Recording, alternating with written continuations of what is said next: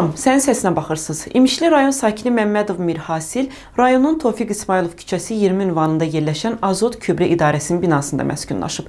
Evsizlikdən qurduğu ailə dağılıb. Bu idarəyə sığınıb özünə dam edib. Amma evin içində palto və çəkmə ilə oturur. Çünki binaya qaz verilişi yoxdur. İllərdir bu nəm, soyuq divarların arasında asma bronxit xəstəliyini tapıb. Sığındığı yerin şəraitinin yaxşılaşdırılmasını istəyən vətəndaş hara müraciət edibsə büdcədə pul yoxdur deyib geri göndəriblər. Üstəlik icra hakimiyyəti vətəndaşa polislə təhdid edir, ona hədə qorxu gəlirlər. Mən də istəyirəm ki, ailəm yanımda olsun. İki oğlum var. Onları mən 6 ildir görə bilmirəm.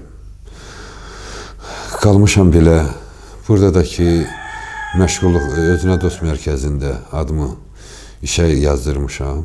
Ondan da ki, aldığım heç bilmirəm, alimentə getsin, yoxsa davaya dərmana getsin. Heç bir şey, məsəl üçün, mənə burada uyğun olan bir şey yoxdur. Çox əzab-əziyyət çəkirəm burada. Çarəsiz vəziyyətdə qalan vətəndaş hansı qapıya gedibsə, onu hədə qorxu göstəriblər. Haqqını tələb edəndə polislə hədələyiblər.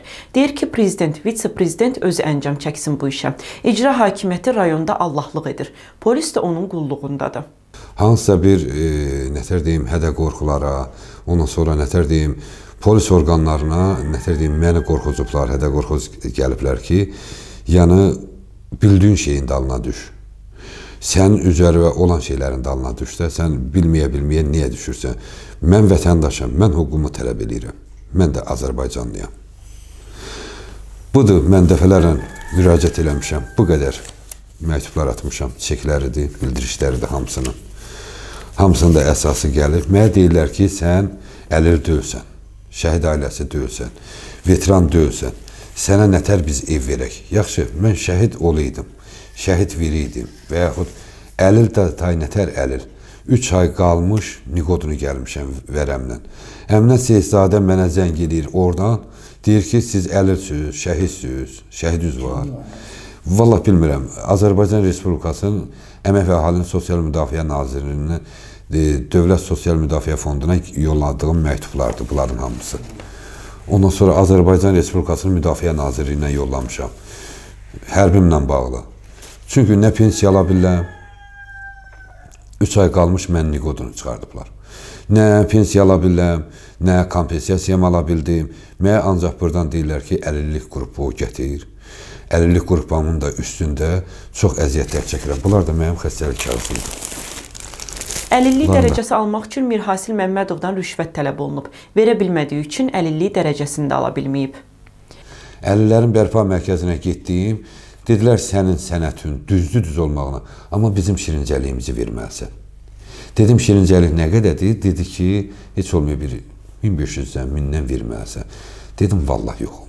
Gedin mənim şərimə, şəraətimə. Onda dedi alınmayacaq. Mirhasil Məmmədov artıq intihar həddinə gəlib. Hara üz tutursa, qapılar üzünə bağlanır. Deyir ki, İmişlidə insanları beləcə məhv edirlər. Bu rayonda yaşamaq mümkün deyil. Və yaxşı, cənab prezidentimiz o boyda çıxışlar edir, fərmanlar verir. Bu İmişli rayonunda onu icra eləyən yoxdur. Çünki cənab prezidentimiz deyir, məmurlar öz başınaçılıq elədiyinə görə mənə hamı siqnal versin, hamı məlumat versin.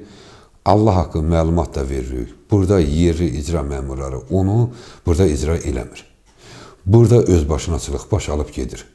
Kiməsə də nə demək olmur, hamısı da orqandan, başqa-başqa digər yerlə adama hədə qorxu gəlirlər. Qalmışıq çıxılmaz vəziyyətdə sözümüzü deyə bilmirik. Biz İmişli rayonunda başımızı qaldırıb nə isə biz tələb edə bilmirik.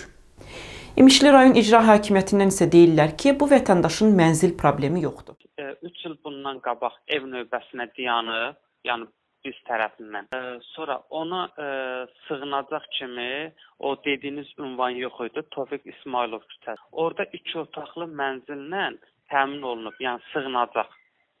Yəni hal-hazırda da orada yaşayır. Özü də ki, e, kənddə həyətyanı sahəsi var, torpağı var. Əzab əziyyət çəkirəm. Oturub qazın dibində olanlar mənə hədə qorxu gəlir. İcra məmurları mənə hədə qorxu gəlir ki, bəs sən başçıdan belə danışmısan, elə danışmısan. Mən demirəm ki, cənab başçı versin mənə evin, eşiyim, varın, dövlətin, əynin başım. Mən onu istəmirəm. Göygöl rayon sakini Mustafayev Valeh Füzuli oğlu iddia edir ki, əlillik dərəcəsi təyin edilməsi üçün ondan 10 min manat rüşvət tələb edilir.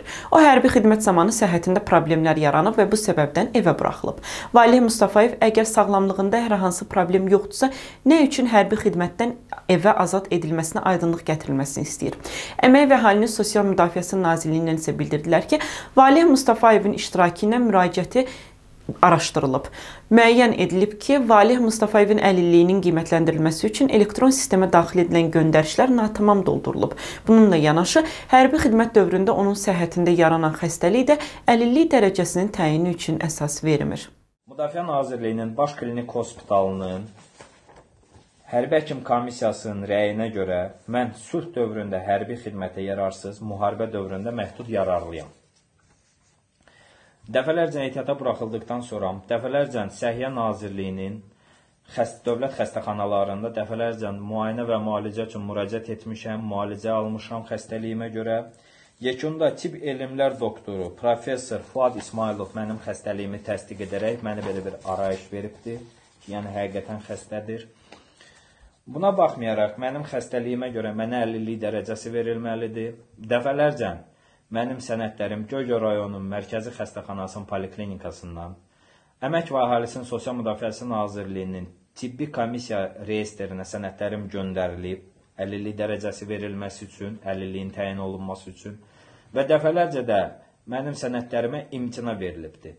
Mən imtinanı araşdırdıqdan mənə Əmək və Əhalisinin Sosial Müdafiəsi Nazirliyinin əməkdaşı açıq-aşkar bildiribdir ki, bizdə əlillik dərəcəsi pulla verilir. Ona əlillik təyin olunması üçün rüşvət istənildiyinə dair Facebookda hələ bu ayın əvvəlində paylaşdığı video müraciəti Əmək və Əhalinin Sosial Müdafiəsi Nazirliyi tərəfindən elə özünün iştirakı ilə araşdırılıb.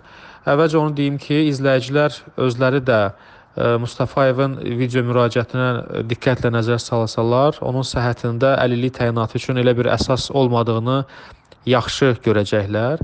Amma bununla belə Valeh Mustafayev nazirliyə dəvət olundu və onunla bağlı əlillik informasiya sistemində, elektron sistemdə onunla bağlı daxil edilmiş göndərişlərdə əksini tapan tibbi məlumatlar, onun xəstəlik vəziyyətini əks etdirən və özü ilə gətirdiyi digər tibbi e, sənədlər ekspert həkimlərin iştirakı ilə diqqətlə nəzərdən keçirildi, təhlil edildi və müəyyən edildi ki, Mustafayevin əlilliyin qiymətləndirilməsi üçün elektron sistemə daxil edilən göndərişlər natamam doldurulub. Həmçinin hərbi xidmət dövründə onun səhhətində yaranan xəstəlik e, əlillik dərəcəsinin təyini üçün əsas vermir. Göndərişlərdə hərbi xidmət dövründən sonra yaranan xəstəliklə bağlı qeyd edilmiş diaqnozda öz təsdiqini tapmadı və qeyd edilən kəskin xəstəlik halını əks etdirən diaqnozla onun hazırki sağlamlıq durumu arasında uyğunsuzluq da mövcuddur. Qaradağ rayonu ilə Kübatan qəsəbəsi massiv 1A Bünyadzadə 1 ünvanında yaşayan vətəndaşlar Azərsu AZC-nin fəaliyyətindən, daha doğrusu fəaliyyətsizliyindən narazıdırlar. Belə ki, ərazidə su xəttində baş verən nasazlıq günlərdir aradan qaldırılmayıb. Vətəndaşlar dəfələrlə bu quruma müraciət ünvanlayıblar.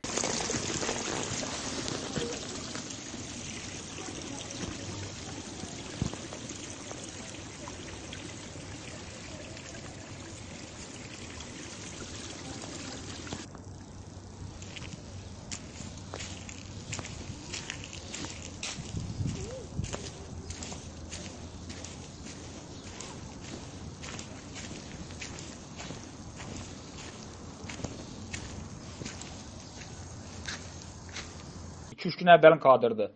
Artıq mən demişəm, indi mənə də kadr atacaqlar, orada heç bir damcıda su yoxdur. Orada qəz olub, qəzza aradan qaldırılıbdır. Sabirabadın Bavar kəndində elektrik xətləri təhlükə saçır. Bavar kənd sakini Mübariz Mirzəyev deyir ki, Sabirabad rayon İşıq İdarəsinə iki dəfə ərizə ilə müraciət edib ki, təhlükəni aradan qaldırsınlar. Amma nə gələn var, nə də gedən. Azərişıq AZC-dən isə bildirdilər ki, kənd və qəsəbədə elektrik xətlərinin yenilənməsi gündəmdədir. Sabirabad rayon İşıq İdarəsinə ərizə vermişəm, iki dəfə müraciət də eləmişəm. Baxan yoxdur. Toxlarımız hamısı yerdə. Çox pis bərbad vəziyyətdədir. Beləncə şey olmaz. Biz hansı əsrdə yaşayırıq? Bizim balalarımızı tox vuranda bunlara kim cavab verəcək? Körpə-körpə uşaqlarımız var.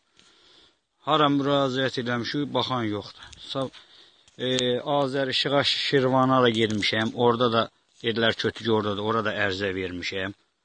E, baxan yoxdur. Son 3 ildə Azərbaycanda 400 kənddə bu yenidən qurma işləri aparılıb. Bu il 66 kənd həmin layihədə özünü əks etdirir və o cümlədən də Sabirabad rayonunun adını qeyd etdiyimiz kənddir.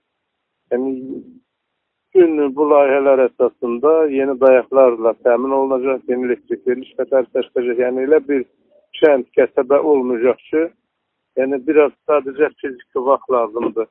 Yəni fərdi qaydada əsərdə olan nüfus vəziyyəti olan xətər varsa, onlar layihəni gözləmir, operativ aradan qaldırmaq üçün lazımi tədbirlər görülür. Bu həftəlik bu qədər. Şikayətlərinizi videoya çəkib bizim WhatsApp nömrəmizə, eləcə də Meydan TV-nin Facebook səhifəsinə göndərə bilərsiniz. Hələlik.